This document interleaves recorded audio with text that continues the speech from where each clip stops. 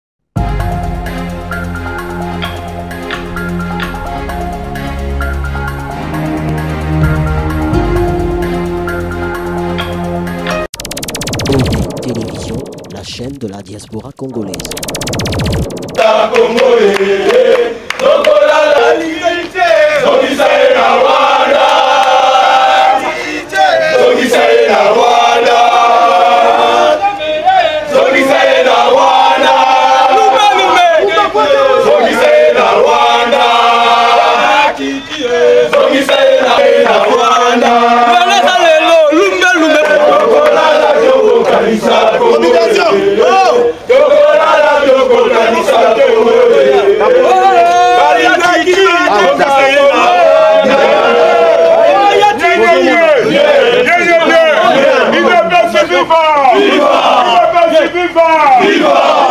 ndeko na mayebi na boya kosala nini bon toye liboso ya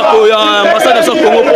toza solution mboka na biso ah. yango omoni toza tosepeli tomonisa bango message na biso tokomi ozongi makambo esili yango oza ndeyaki editv bato nyonso ya terrain tokomitomoniyo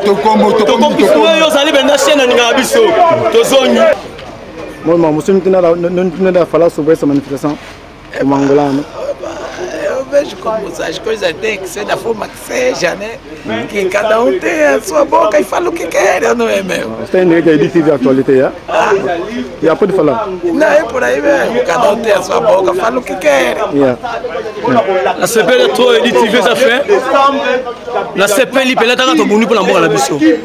outi na ambassade na so liboso tozongi na biso ezongi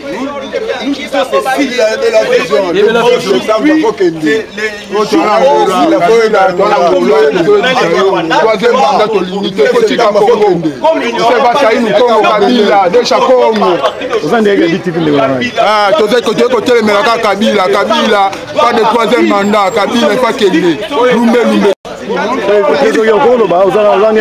epa problème toza nango toyeli awa epa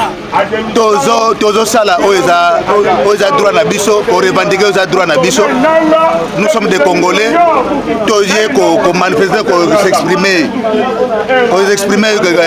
oyo eza oyo eza posa na biso na représentation ya, ya, ya, ya congo awa oya koyebisa bango ke toza na posa ba élection constitution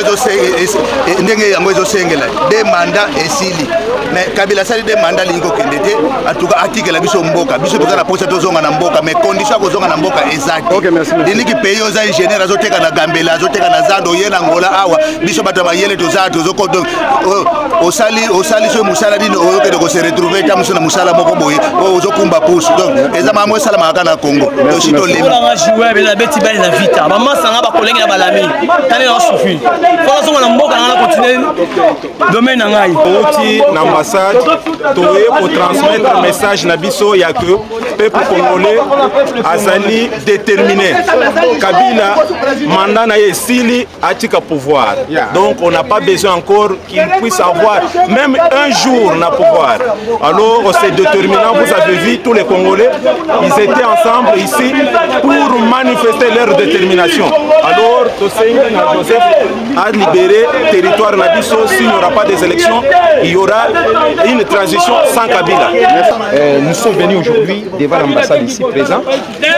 pour manifester notre mécontentement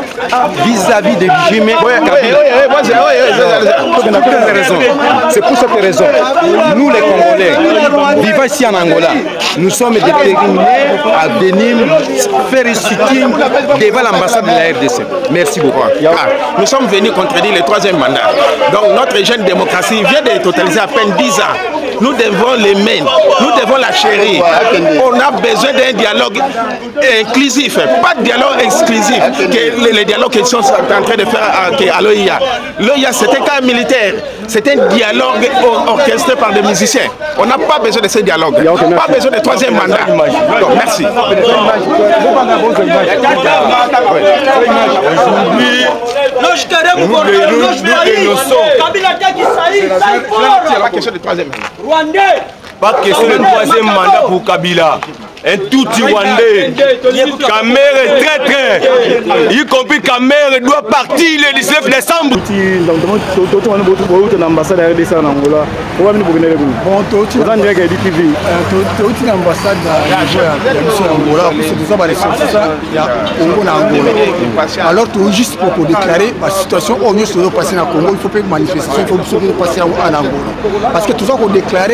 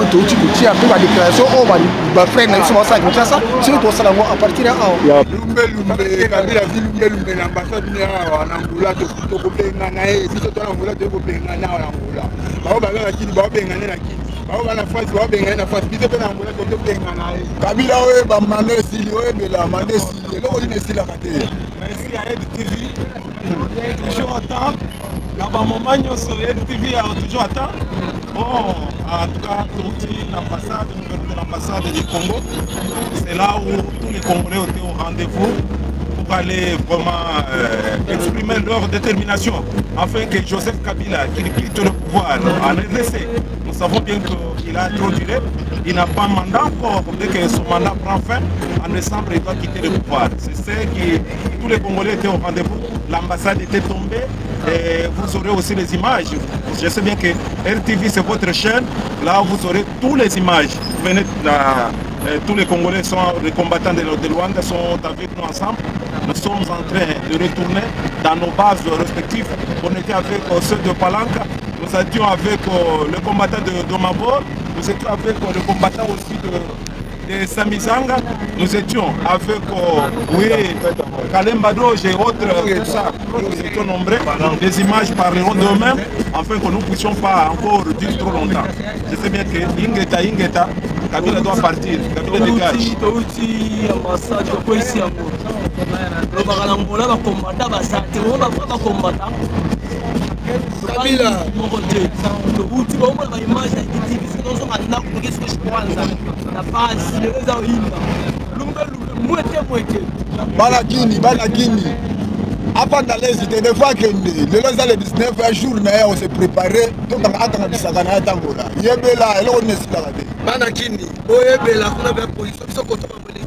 kabila yo moko olobaki na satiti omatisaki loboko devant ye ke okochange constitution congo te de manda otiki lelo tolingi tosekilize yo ozala ata na senat olingi te olingi otya motu makasi me yebaki makambo na yo ekomi partout dans le monde donc yo oza suna esika te na congo bongisa bagage kende noka na malemi tolingi yo lisusu te soko olingika mboka na biso seke oboma biso nyonso na libanda ya mboka na kati ya mboka loplasa eza soki ekende bonne chance